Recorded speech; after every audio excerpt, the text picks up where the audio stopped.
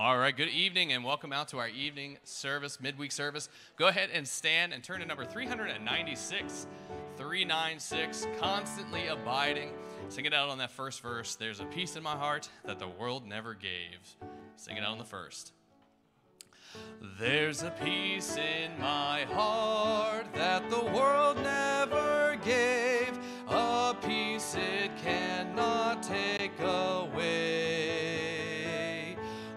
the trials of life may surround like a cloud, I've a peace that has come there to stay.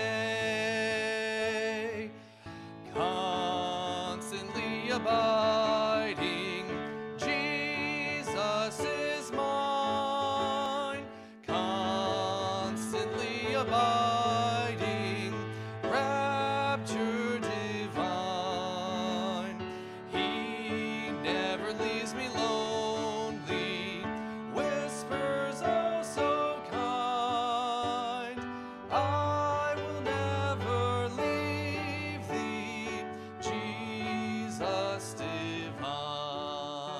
on the second. All the world seemed to sing of a Savior and King. We do not have that verse, so we're going to change it. All right. Do we have the second or third verse? All the world seemed to sing of a Savior King. All right, let's try it again. All the world seemed to sing of a Savior and King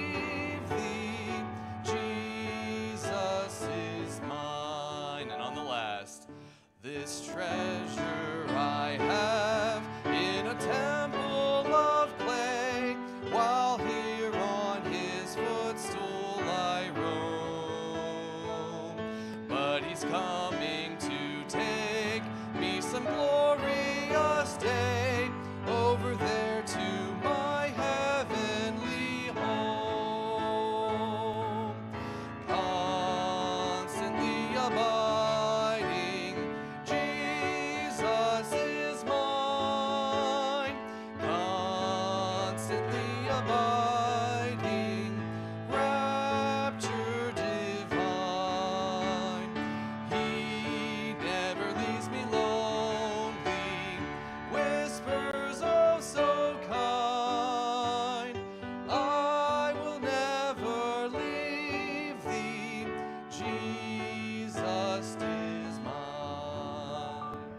This. Let's reach around and shake hands and fellowship just for a few moments as the pianist plays.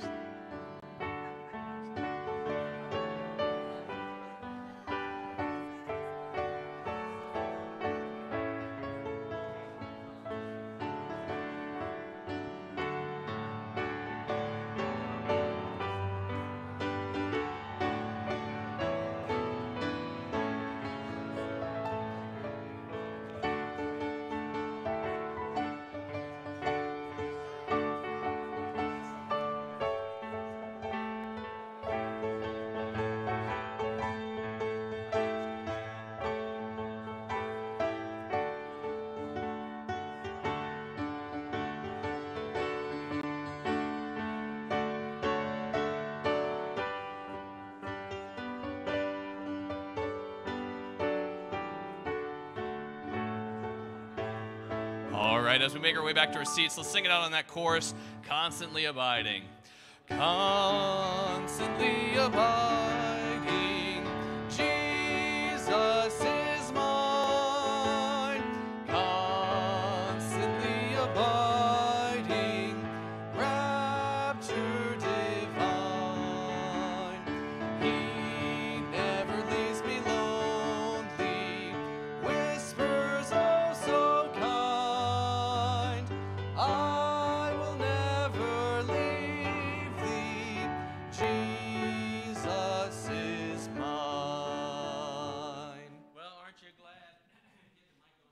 aren't you glad that that wonderful promise, I will never leave thee? I will never leave thee. You think about that. I'll never leave thee. Jesus is mine. I'm so glad that Jesus is mine. Amen? well, it's so good to see you tonight on a rainy day. It's been a rainy, kind of dreary day all day today.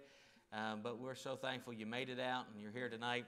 And uh, won't you actually be seated? We're going to have Pastor Rossi. Pastor Rossi, you come on up. It's good to have Pastor Rossi here with us tonight. Amen. it's always good to see him and his family, and his family's down in Florida, I think, aren't they? Yes, sir. And uh, and so he's up here for a couple days. And uh, uh, so I asked him. I said, whenever you're here, would you mind just giving us a little update about what the Lord's doing, how the Lord's using him? And as an evangelist out of the church here, I'm excited to hear about you know, what God's doing and, and how God's using uh, their family. And so I've asked him come. Why don't you lead us in prayer and then give us an update real quick, okay? Thank you, Pastor. And uh, it's good to be here. And how many are glad to be saved? Man, good to be in the house of God. And uh, great to be here to Granite tonight. And I didn't think I'd get that excited when I pulled up this morning and uh, got to go on campus, see some of the kids at school. I felt like I was at Christmas or something and, and uh, having, having a great time. And again, tonight. You want me to pray first and then give the update, or update? Uh, I'll give the update and then I'll pray. And uh, I wrote a few things down we've been doing, but uh, since we left, uh, of course, we've uh, been in 12 different churches and uh, I think three different states, and we went down to down to Georgia and started a revival the end of January. Then we went down to Florida and did a, held a meeting there, and then back up to Georgia again then uh, North Carolina, back down to Florida again. It was so nice. We went back, amen. And uh, we've been staying down there in the Panhandle and uh, that part of the world. And then uh, recently we went down to Ocala, Florida, and I've uh, been preaching meetings down there every weekend and most of the Wednesdays in between. So uh, God's been good. We put in a lot of miles and. We've had four revival meetings and missions conferences, and uh, through those, we've seen 11 people saved, and um, just been a, a great blessing. Susan and Bethany are doing well. They stayed down where it was warm. Uh, I'm only here for one night, and so really just came in, and uh, we will be uh, here tonight. I'm flying back to be down to Ocala, down at uh, Pastor Bloom's church, and I think Pastor White knows him. Brother Andy Bloom is Central, so we'll be there for Easter Sunday over the weekend preaching, and then start making our way from there. We're actually going to fly to Washington State for uh, 11 days and preaching meetings out there. Uh, come back and then start the trek back to uh, Baltimore. Uh, and so uh, we'll be in this area in April, end of April and May, preaching some revival meetings and whatnot. So our, our website is finally up, and uh, pray for that. Uh, it's done, but it needs, a, I, I, my first impression was it just needs a lot of work and fine tuning. Our schedule will be on there hopefully by the end of next week. We'll have the next few months. If you would pray for us and uh, continue praying for revival and pray that God uh, helps us in these things. Uh, two Wednesday nights ago, uh, I was outside uh, of a little area, Crestview, Florida, and uh, while there, I got to go help a pastor at uh, the Vision Baptist Church. he I met him at a field, literally, at about 5:30. He said, "This is our new church. Church. this is our new site. This is where we're going to build our new church. Over in the corner of the field was a big pile of steel and uh, all kinds of uh, uh wood and everything. These materials. And uh, so they got their, uh, their uh, job site done. They've got their property. They have five beautiful acres on Highway 98. Uh, the church is five years old. And uh, then uh, we went through all that and then down to where they're a meeting for church. They're meeting at his, uh, where he lives. He has a property about three miles away uh, man, they, they had a shed they were meeting in. They had uh, little rooms they were meeting in. They took me into the overflow room, uh, which was uh, his son's, uh, that's his son's garage, all set up with video. His grandson's bedroom is their nursery now. They took that over, and man, they were having so much fun, fired up, excited, and uh, so uh, they're making requests for uh, Jehovah Jireh to help with their project, and it's a real blessing to be around some projects like this of people that are building churches for the glory of God, standing on the Bible, amen, and uh, preaching the gospel and seeing people saved. At Fruitland Park, Florida, this weekend uh, we were at the church man they just have so many people on the line uh, that are getting you know uh, either just got saved or about to get saved at uh, just exciting places we were driving down highway 98 in destin florida and i looked up and there it was john smith's sub shop and uh, i said I can't get away from that guy. But anyway, uh, so uh, there it was, right there, living color. So we thought that was funny. But uh, we've been praying for you, and we catch up with what's going on and uh, try to know what's what's happening. We're praying for the hunt. We won't be here for that hunt for the first time in years, but praying for a great Easter Sunday and Resurrection Day. And uh, how many of you just love this time of the year? This is great. This is our time of the year, soul winning time, and people getting saved. So we're praying for all of you. So good to hear that Pastor White got his house and got settled. That was another blessing, and uh, to get through all that and to sell their house finally. Uh, somebody has a travel trailer out there. I don't know whose that one is, but okay. So that's called the Pastor Rocky House. Amen. So that's where they go when they're bad. But uh, pray one for another. Let's pray that God uses us. We've been keeping in touch about things and folks that are struggling and uh, with Mrs. Petty and others. Of course, the bridge yesterday was just just a, just a tragedy, and some folks died. They amount, announced some of those today, and you think of what that's going to do. It's going to affect an awful lot in this city uh, 8,000 jobs, I heard, over in the, in the marine terminal and the docks. But we'll see what happens, and let's pray that God uses it all for His good and uh, for our good and His glory. So let's pray together. Father, we are thankful to you for this place. Thank you for this church. Thank you for uh, getting Pastor White set up here and with his family and getting them settled in. And then, Father, we are praying that uh, you'll continue to bless. May we see many people saved in the days ahead. May the hunt uh, be a great day of salvation in this church. May the Spirit of God do a great work on Easter Sunday, prepare our hearts, prepare the church. And then, Lord, uh, we do pray that you'll bless the service, bless the pastors. He gives the, the lesson and the Bible teaching out tonight. Thank you for your goodness and grace. We do pray for the many that are struggling, that are shut in tonight. We pray your hand upon each one. Thank you for all that you are, and for every person that gets saved, we give you the glory and the praise and the thanksgiving. Thank you. In Jesus' name we pray. Amen. All right, go ahead and stand one more time and turn over to number 349. 349. We're going to sing I Need Thee Every Hour. Sing it out on that first. I need thee every hour, most gracious Lord. No tender voice like thine can peace afford. I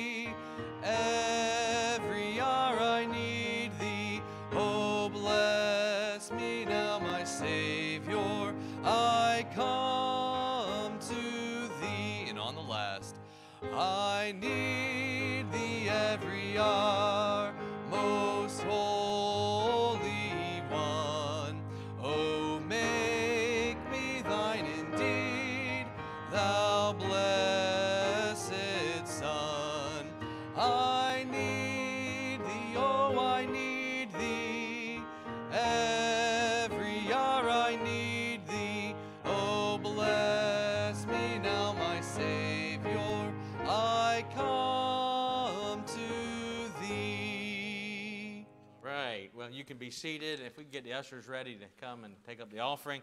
and while they are doing that, uh, we want to just remind you about Saturday. Saturday is our Super Saturday of Soul Winning. So we're going to have breakfast uh, here, and uh, then we will head up to Baltimore. So we're going to head to Baltimore to help the Baltimore Baptist Church with uh, hand out all kinds of invitations for their Easter uh, Sunday. And so uh, during the missions conference, Lord laid on my heart the need of helping them, and just felt like it would be a good thing. And trusting the Lord that, to that promise of give. If we give of our time, I believe God will give back to us. And so let's give. We'll give to another church plant, um, helping them to have a great Easter. I believe God will give us a great Easter. Amen. Amen. And so, if you are going to head up to Baltimore, then what we'd like you to do is uh, to sign up, and that you're going to be riding on the bus. And so, there's a sign up sheet um, on the at the welcome desk if you're planning on coming. Uh, that would help us to know what kind of vehicle we need to take people up. also, I do I did see there's some people that are going to be driving up. That's that's fine, and, and, that's fine to do as well. And so we plan on being there about 10 o'clock, and we'll leave about 12:30 or something like that. Is when we'll leave. So we're hoping to get back here by one o'clock. If you can't go up to Baltimore, still come for breakfast because we can send you out right here in this area. And so there's plenty of people here in this area to reach, but we uh, we were going to be heading. Most of us, I think, will be heading up to the Baltimore area. So that's, I think, the only announcement I want to, want to remind you about besides just praying for Easter, and we'll talk about that in just a few moments. So let's go to the Lord in prayer. Brother Doug, lead us in prayer, please. Let us pray. Heavenly Father, how grateful we are to be here in your house once again tonight. Father, we thank you for leading us uh, your way and allowing us to uh, be able to enjoy our uh, your, the fellowship and be able to sit under the teaching of your word once again. Father, we thank you for Pastor Rossi and all the work that you've allowed him to do and bringing him our way so that he could give us a report. And we just pray that you will continue to bless him as he serves you, uh, reaching out to the many churches, uh, many revival meetings, and, and all that you have him have for him to do. We just pray that you'll bless him, give him travel mercies, and uh, may he see a great work done uh, in your name. Father, we thank you for this time that we can give back a portion you so richly bless us with. We pray that you'll bless the gift and the giver alike, and that you'll multiply it for the furtherance of your work. In Jesus' name we pray. Amen.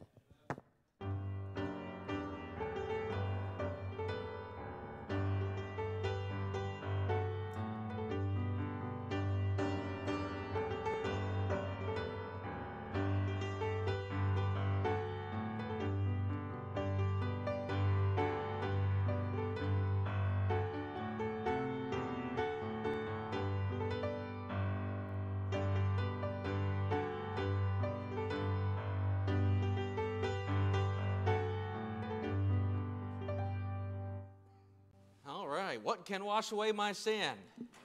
Nothing but the blood of Jesus. Thank you, Gracie, for that special, that offertory. Let's go in our Bibles to James chapter 5. James chapter 5, the book of James in chapter 5. We are going to do a little bit something different tonight, and um, we want to, want to, we're going to take a break just for tonight, Lord willing, off of this Revelation study or future event study that we've been doing on Wednesday nights. And we're going to look here at James chapter 5, and I want you to look at verse 16. James chapter 5 and verse 16. And so look at what verse 16 says. What's the first word there? Confess. I just wanted to make sure you were there. Everybody's there. James chapter 5, verse 16. It says, Confess everyone else's faults one to another. Is that what it says? Is that what that verse says? That's what we do, don't we?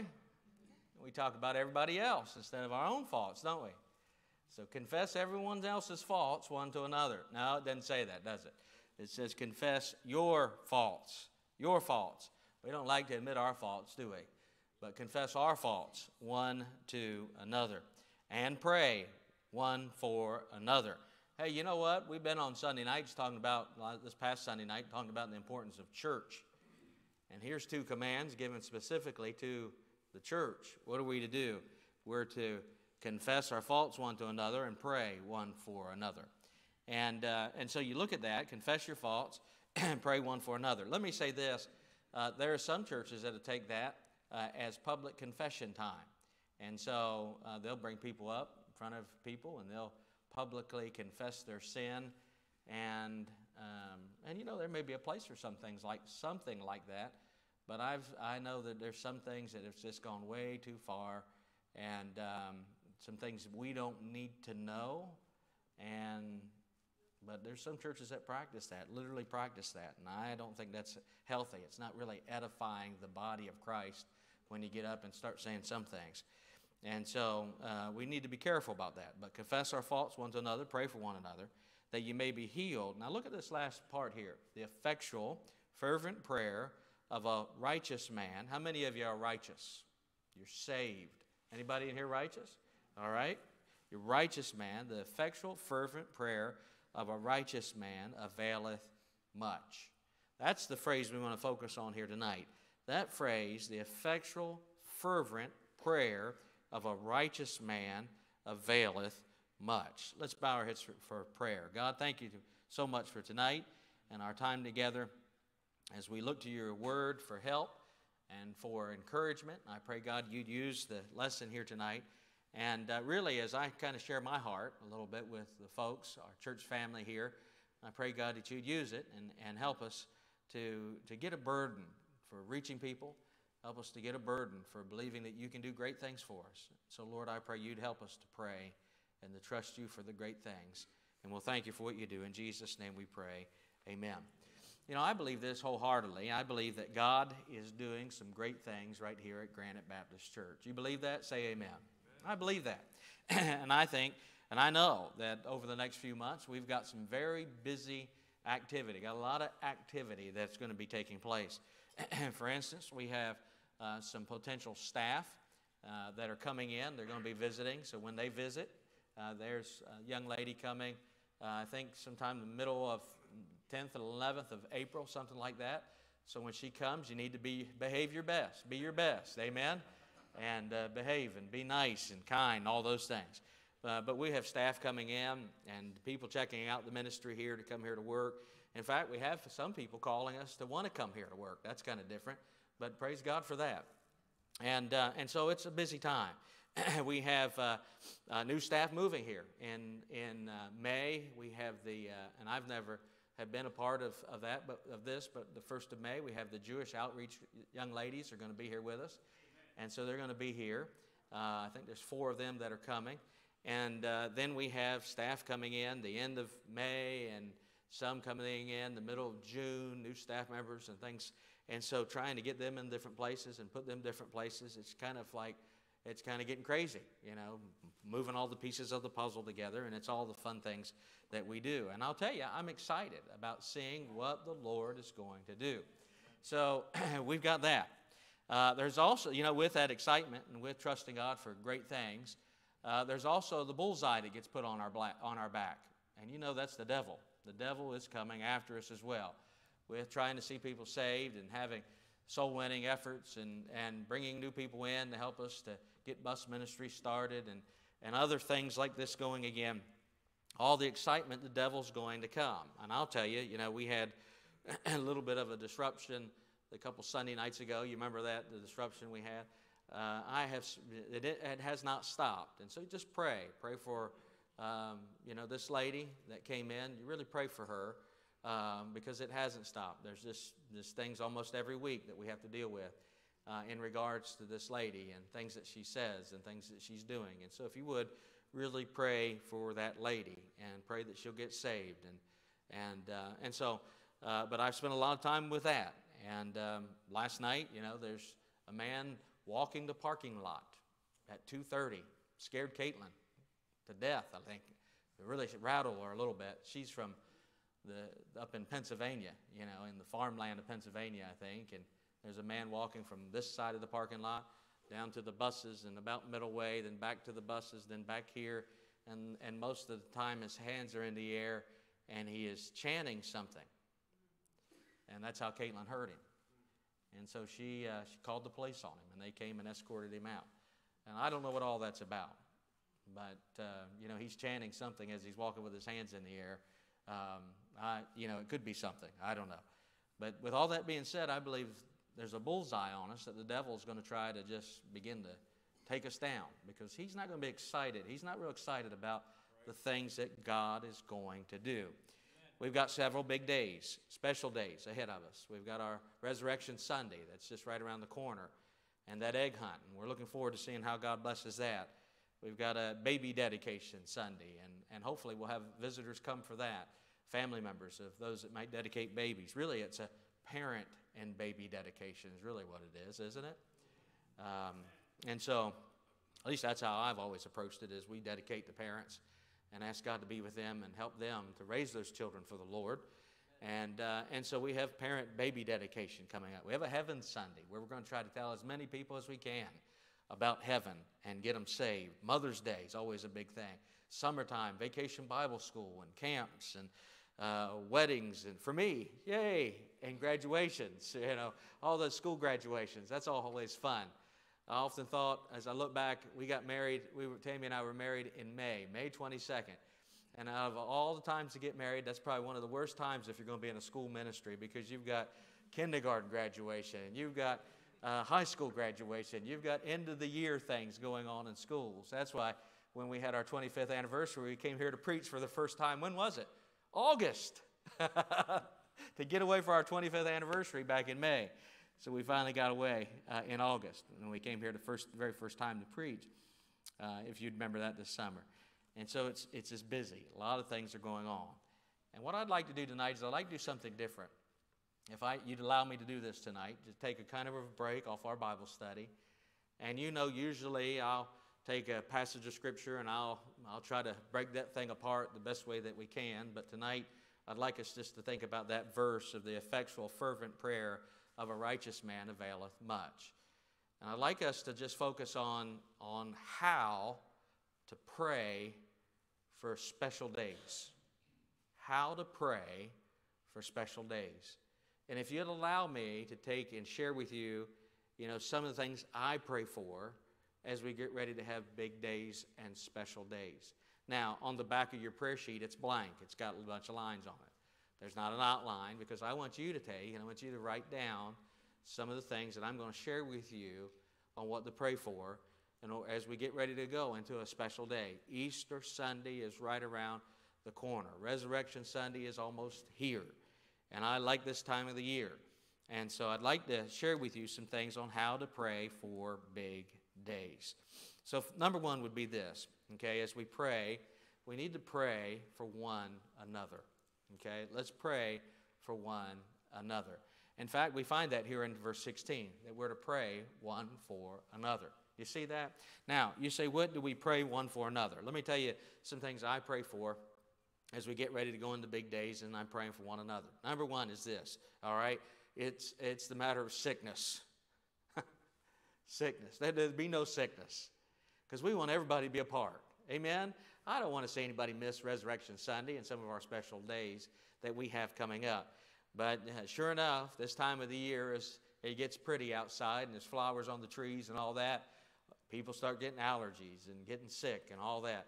So let's pray that no one is sick and that we can have all of our families here to be a part as, as a church family on Resurrection Sunday. Let's pray also, another thing I pray is for everybody's attitude. Their attitude. I don't know how it is in your family, but sometimes family members can get attitudes. I know I can get attitudes. I know I've got family members that can get attitudes at times, right? And so we all sometimes have some attitudes that we might get. And so let's pray for one another's attitudes. As, as a church family, we mentioned this on Sunday night. You know, we're a, one of the things we talked about is as a church, we're a body. That's what God says, doesn't He? That we're a body of believers. We're, we're a church body, and, and everybody, the, the hand is not more important than the head, and, and all those things. And we all function together. And so that's how God has put us. We're also a family. You remember that? We talked about a family. And as a family, I love my family, I care about my family, but I know sometimes there's attitudes. And let's pray for our attitudes, that our attitude, our heart would be right. Let's pray that God will use us to invite people to come, that God will use us to invite people to be here. You know, we're praying one for another. I want you to be a success. I want God to use you in a great way of getting people here in church. And let's pray that God will use us to get visitors here. One of the things that we've done over the last few weeks is we had that little QR code. It's been in your bulletin. It was on the back of the chairs. Is it still on the back of the chairs, some of them? Looks like, mm, no, looks like they're all gone. All right. They probably got caught on somebody's jacket or somebody's pants or something like that, like it did on mine. But we had those little QR codes there on your, on your pew chairs uh, so that you could just easily scan. And, uh, and we gave you a text to be able to invite and a script that you could use and trying to get you to think. You could scan that little code and it would get you to think about who to invite for these special days, especially Resurrection Sunday. And so I'm praying that God will use you uh, to get visitors here. And uh, let's pray for our visitors. As our visitors come, you say, How do we pray for our visitors? Or we'll write these things down. Yeah, we need to pray that God will wake them up. Amen? That's the first thing. God will wake them up. I know when I first got saved and I wasn't going to, used to going to church, I used to pray. We were, we were, uh, I would be staying in a house and with a bunch of other guys, and we had partied or something like that, and I got saved. God began to work in my heart about going to church. and I would pray. I didn't have an alarm clock. We didn't have cell phones back then. I didn't have an alarm clock, but I'd pray. I'd say, God, please, I want to go to church in the morning. Wake me up. Please wake me up at least an hour and a half so I can get home, get cleaned up, and go to church with my mom and dad. That's what I prayed. And you know what? Every Sunday, God would wake me up. But you know what? I didn't get up. I just laid there for a few weeks. Then eventually I got up. But I just fought that thing for a few, few uh, Sundays. God would wake me up, and I just would roll over and go back to sleep. But I, I thought to myself, you know, this is God, God's doing some things, and that's just praying. So pray that God will get them up.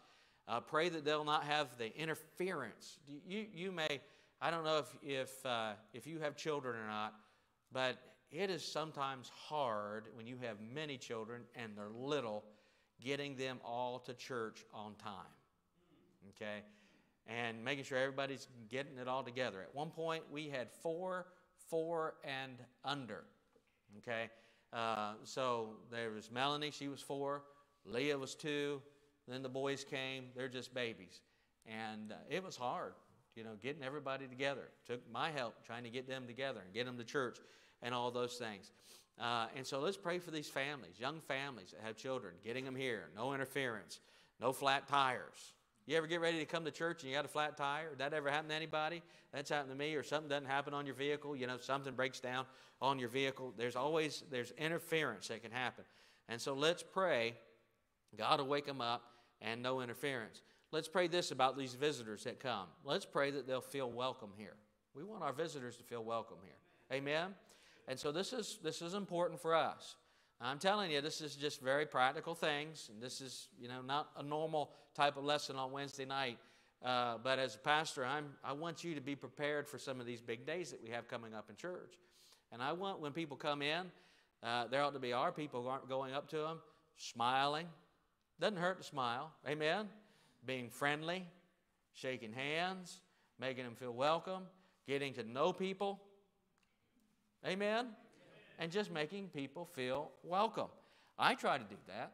And uh, I'd like to ask you to make sure you do that. It, we ought to be known for being a friendly church and a loving church and a caring church. Amen? And so let's make, let's make those visitors that come in feel welcome. Let's pray that if they're lost, they'll be saved. Amen? Let's pray for their salvation. Let's be praying right now for those people that come in on Sunday as they hear the gospel. I mean, I'm going to preach a message on the resurrection, and I will share the gospel. And let's be praying right now. This is what I do. I pray that God will work in their hearts and that they'll come to know Christ as their personal Savior. So for saved, our lost people to be saved, and also this for uh, backslidden Christians to get right with God. Let's pray for that as well. Let's pray for backslidden Christians to get right with God and rededicate their hearts to the Lord. I'm very thankful that, you know, well, not th- I'm, I'm thankful for a Christmas service because in a Christmas service, it was a special kids program for Christmas that my dad, who was saved in Vietnam, he was saved in the Easter Sunday service in Vietnam in a chapel that they had on Easter Sunday. Uh, but when he came back over here, he got in church for a little bit and then he got out. And pretty much all my life, he wasn't in church. Mom wasn't in church. Mom decided she'd go back to church when I was about 16 years old, started taking my younger brother and younger sister, and I was the oldest. And it was during a Christmas program. Uh, but Easter works just as well, right? But it was during the Christmas program. My brother and sister were singing. They were little kids, younger kids at the time, and doing something in this Christmas program. That they invited Dad to come. Dad was backslidden, away from the Lord, and he came. And on that Sunday, he rededicated his life to God and he started going to church. He was in church. Mom was in church. My younger brother was in church. My younger sister was in church. There was only one that wasn't in church, and that was me. Right. I'm 19. And they, then dad started coming after me, okay, that I'd get saved. And boy, you think about it. God used a special service to get a backslidden man right with him, right? And, and ultimately, I got got saved, and, and you know the rest is history from that. So let's pray for those that those visitors that come. They'll feel welcome, have good health, no interference. Uh, they'll be saved if they're if they're lost, and that they will get right from with God if they are far away from God. And uh, and and let's pray in this service because as we have many people here on Resurrection Sunday, and that's what we're trusting God for, is we have other special days throughout uh, the uh, upcoming weeks. Let's pray for no distractions. No distractions. Right? And let's just pray that God would just, you know, the devil doesn't stir up things, but that the, that the service just is, there's, it's distraction free. Because the last thing that we want is uh, for distractions. Now, let me talk about distractions a little bit. You know, it's a distraction to people. Uh, and I'm just talking to you as church family, okay? It's a distraction to people when we get up and move when it's preaching time. It's a distraction. All right? Somebody sitting all the way in the back, somebody up here gets up and moves and goes out. It is a distraction, isn't it? It's a distraction if there's talking and stuff going on back there in that foyer. People on the back row can hear. All right? and it is a distraction. Uh, the, the nursery over here, that's a distraction at times, isn't it, moms? Is it moms over there? Yeah, you hear those babies crying, don't you? Sometimes. And you think, is that my baby? you know, and there's nothing we can do about that. There's nothing we can do about that. Uh, but that, that is a distraction, okay? Sometimes it's babies in the service. And, uh, you know, if, if a baby's in the service, I appreciate moms and dads want to have their children in the service and things like that. But also, if there is a, a visiting family with them, we could let them know about the room over here that they could go in with the, the, the child that may be a distraction. Because they can watch the service and yet it can be quiet back there. So, I mean, we are trying, that room is a blessing because it's minimizing distractions. Amen? And so, let's be careful about those distractions. Let's not be a distraction. I'd like to say, just be aware of this, okay? Uh, and the ushers need to kind of be aware of this as well, or the, those in security, that if there's special music going on, somebody singing a special, then if you you see it, then just kind of stay in the back until the special music's over. Because you don't know what God is doing in a person's heart while somebody else is up here singing. Okay? Choir singing, special music's going on. Let's try to be smart and minimize those distractions. Okay? And we can do it. So let's let's work at that, all right? But let's pray that the services will be distraction free and there would not be any distractions or any interference here in the service. All right, so we're still praying one for another. Okay, so I've given you some things we need to pray one for another about sickness, attitude. God uses us to get visitors. Then we jumped off on visitors a little bit. Let me ask you to pray for me.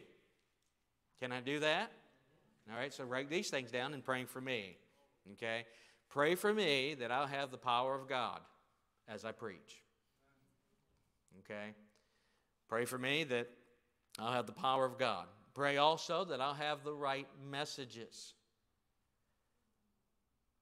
Have the right messages.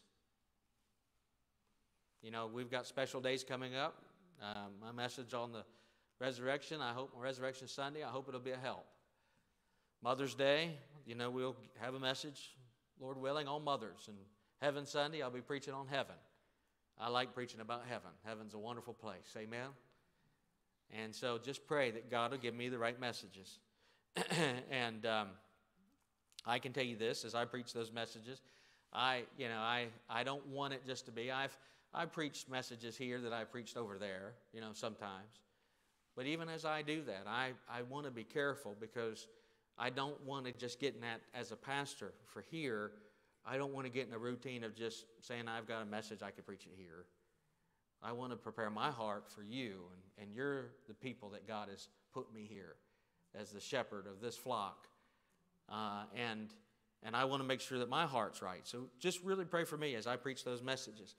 Pray that I'll have full liberty to preach without distractions. We don't want distractions out there, but, but it's a distraction sometimes when, when get you off focus when some of the distractions are taking place, even from the preaching. Not just you are distracted, but sometimes I'm distracted.